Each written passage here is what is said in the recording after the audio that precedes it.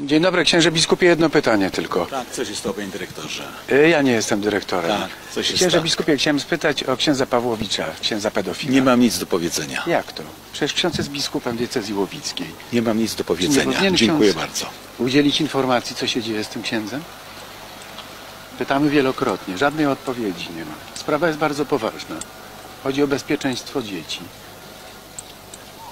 Odwołuje się do księdza biskupa najwrażliwszej sfery.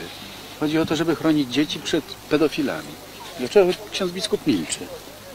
Czy to nie jest tak, że biskup powinien dbać o bezpieczeństwo najmłodszych w swojej diecezji? Nie wiemy, co się dzieje z tym księdzem. On wygłasza rekolekcje, ma cały czas kontakt z ministrantami. Próbujemy się dowiedzieć, czy ksiądz biskup zgłosił to do Watykanu? Co, co oznacza milczenie biskupa w takiej sytuacji?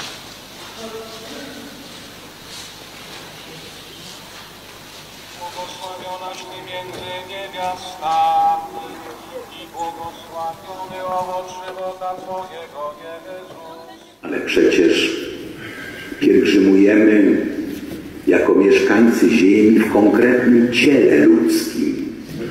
Błogosławionaś Ty między niewiastami i błogosławiony owoc żywota Twojego, Jezus. Pielgrzymujemy w tym ciele, które jest zdolne odczuć i przyjemność, i ból. To jest ciało, które jest zdolne uczynić coś pięknego, ale także zranić drugiego. Błogosławionaś Ty między niewiastami i błogosławiony owoc żywota Twojego,